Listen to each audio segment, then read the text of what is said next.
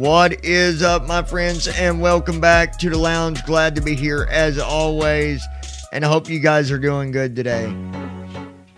Um, I wanted to talk about something uh, because I've I've been seeing other people talk about it, and so I thought I'm just going to kind of put in my own little, uh, I guess, two cents, right?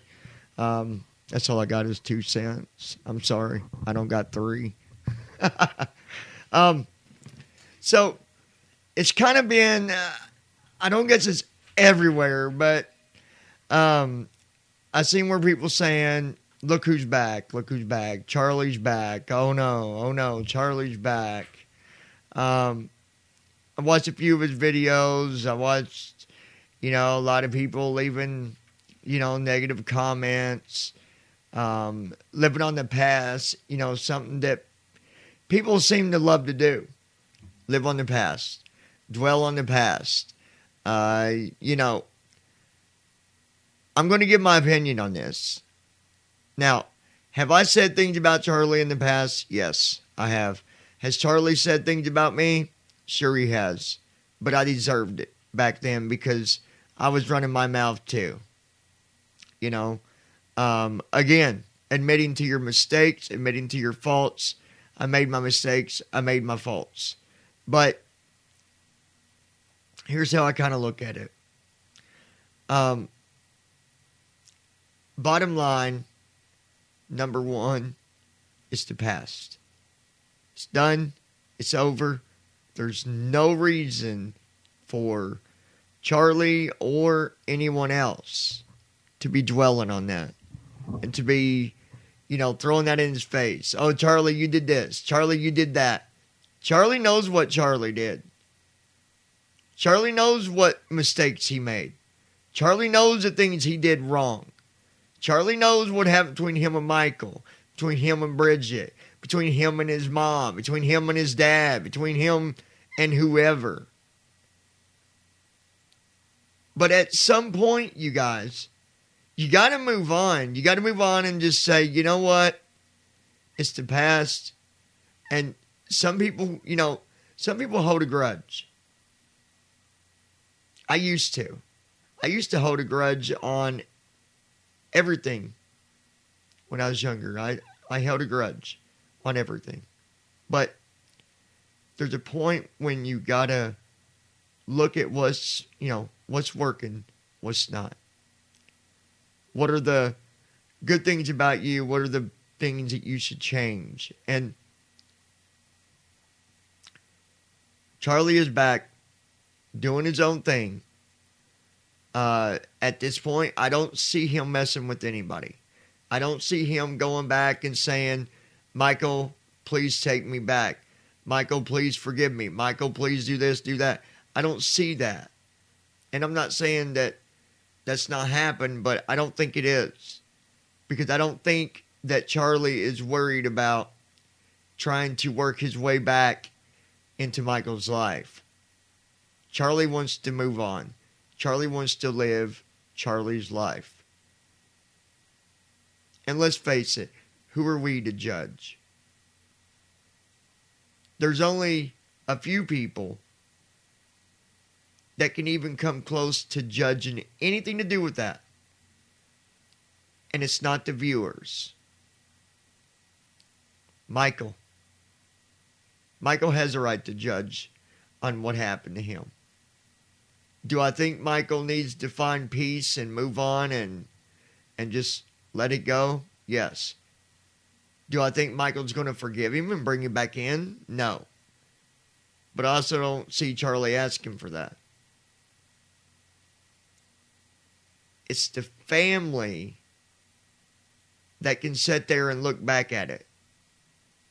Should they? No, but they have that right. Their family. And there's something else that you all need to remember. Key point. We only know what happened by what the media showed us. And that doesn't make Charlie a saint or Charlie an angel. But Charlie's moving on. And if he's back on YouTube, then he's back on YouTube. And you know what? For for that being said, I wish him the best of luck. I hope things work out for him. I do. Um I you know, I might not have agreed with how Charlie acted in the past, but it's done and over. And like I said, you know, well, I guess it could have been trolls too, but you know, he said things to me, I said things about him. I should have never said anything. The only way we get better is by admitting to our mistakes and changing. That is the only way. It's the only kind of philosophy that makes sense. When you change the bad things about you, it can only get better. That's the reality of it. So, for that said, I'm saying to Charlie, welcome back. You know, we sit there and we talk about, uh, you know, raising awareness for bullying, raising awareness to, you know, uh, be there for victims and stuff like that. Who would we be if we sat there and started just saying all kinds of stuff about Charlie and picking on Charlie or whatever? So I can't do that. I had to live up to what I say that we are here at the lounge. We are forgiving. We are able to put things behind us and move on for the better. And I hope that every one of you can accept that. I hope that every one of you have them same beliefs, them same morals. Because I think it's a good thing. I really do. We're always talking about motivation, self esteem, doing better. And I think that people just need to leave Charlie alone, let him do what Charlie wants to do. If it's not hurting you, if it's not hurting Michael or any of them, why bother? Why bother with it? I understand there are some angry people that are very angry. But it does no good to sit there and bring up about, oh, you're drinking, you're drinking, or you're doing this, you're doing that. Who cares? It's the past. A past that needs to be put behind you. Unless you have something personal that happened between you and Charlie, you should just let it all go and just leave him alone. Let him go. You know, a long time ago, um, you know, Charlie did something for me he didn't have to do.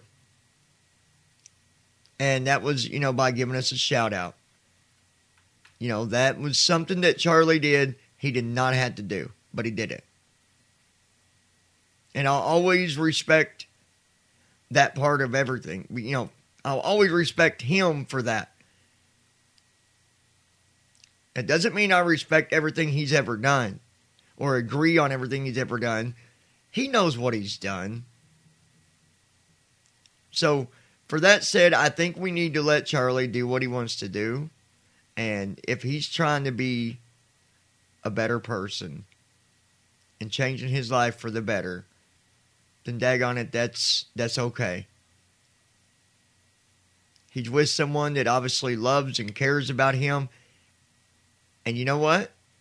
That's okay too, because we all need someone that love us and care about us, that are there for us.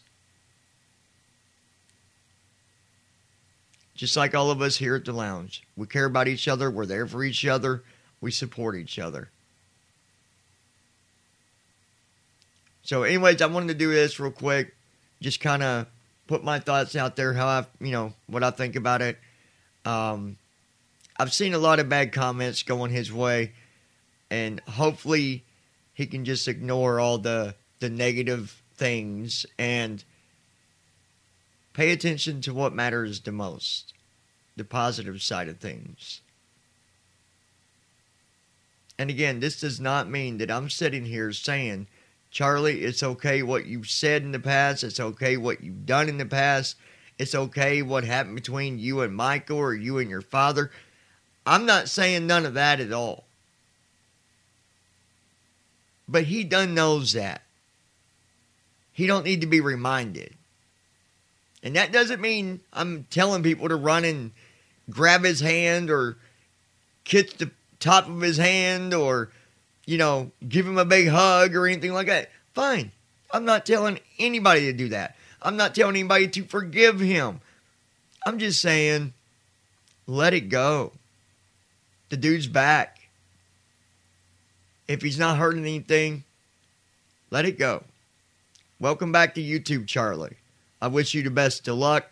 For everybody else, give us a thumbs up, will you? Hit that subscribe button. Join us here at the lounge where we are here to support each other and always raising awareness for bullying, for the victims that have been through bullying, and also just offering support to whoever needs it.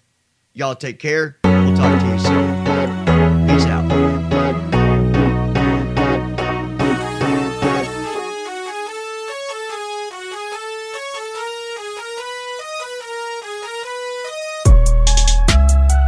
Thank you for being a part of the lounge. We really appreciate you, and we'll talk to you real soon.